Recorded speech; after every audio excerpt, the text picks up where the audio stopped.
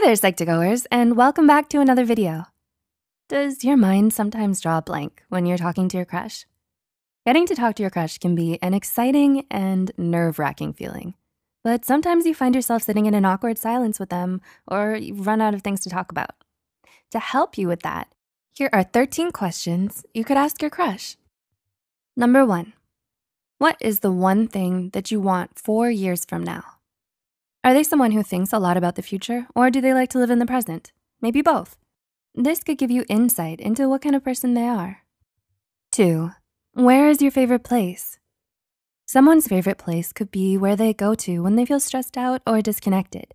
It could be a place related to their childhood, but it's a getaway from their reality and a place to just relax. Knowing this could bring your relationship with them just a little closer. Three, where is the one place you wanna travel to?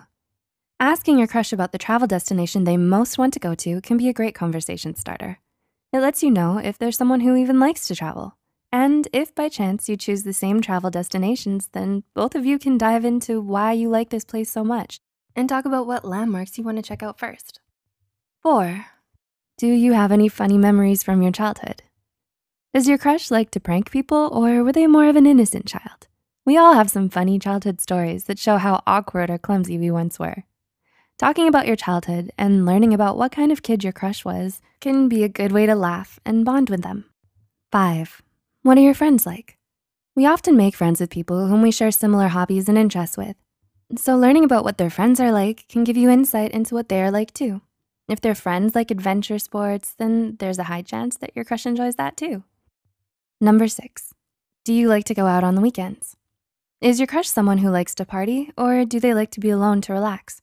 Maybe they like to get out together with their friends and family after a busy week. What they like doing on the weekends and who they like to spend their time with can tell you a lot about who they are. Seven, what's your family like? This can tell you what kind of relationship they have with their family and may reveal to you whether or not they're family oriented. If, however, they don't wanna talk about their family, it could mean that they don't have a good relationship with them and it would be best to move on to a different topic. If they talk very fondly about them, then it shows that they're definitely close to them. Eight, is there anything that scares you? The thing that scares them most can tell you a lot about them. Those who are scared by darkness may not necessarily be scared of darkness itself, but more so the fear of the unknown. Or people who don't like public speaking are usually afraid of embarrassing themselves. Talking about your deepest fears can make you feel very vulnerable and therefore bring your relationship with them closer. Nine, what do you do when you feel bored? Instead of asking them, what are your hobbies? You can ask them, what do you do when you feel bored? This will not only tell you about their hobbies, but will also show how they spend their free time. Number 10, what is one thing you don't like? Knowing their dislikes is just as important as knowing their likes. You could talk about why they dislike something and what made them dislike it. You may end up bonding over certain dislikes or even tease them for it. 11, what's your favorite character? Your favorite characters are usually ones you relate to on a personal level or someone you feel a close affinity with. They may mirror your deepest desires and fears or even reflect the qualities that you look up to. Asking your crush about their favorite character could tell you what kind of person they are. Number 12, what do you like more, reading books or watching movies?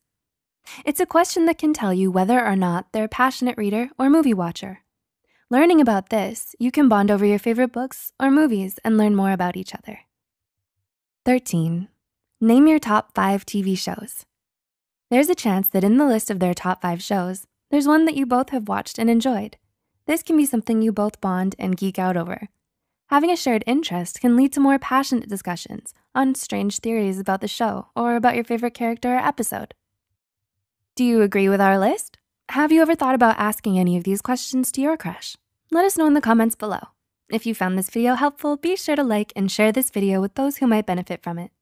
Don't forget to subscribe to Psych2Go for more content. And thanks for watching. See you in the next video.